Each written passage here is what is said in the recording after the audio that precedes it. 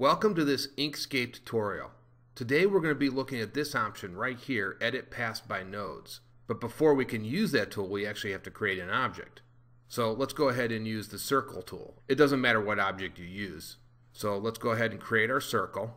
And then we want to go ahead and select that, and then go up to Path and hit Object Path. Then go select the Edit Paths by Nodes tool, and you'll see we have all these new options up here, and we'll take a look at some of these right now. Now, the area between these two nodes is called a segment. And if you want to see the path outline of this circle object, you can select this tool up here, Show Path Outline.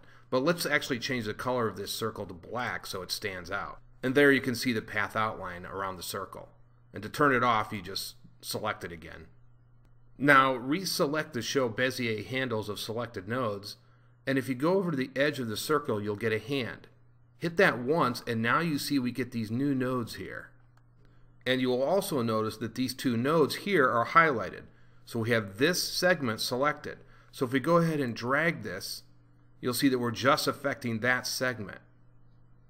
So let's undo that. Now to select multiple segments, you just hit the Shift key, go over here and get the hand again, and you can see now we've got this segment and this segment now selected. Now to insert an individual node, you can just highlight a particular area and you get the hand here.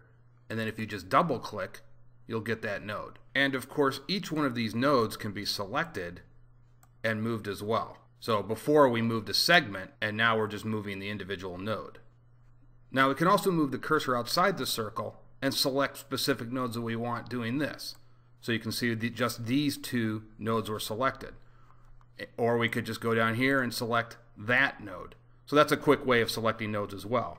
And as always, if you hit the Shift key, you can deselect and select nodes that you want.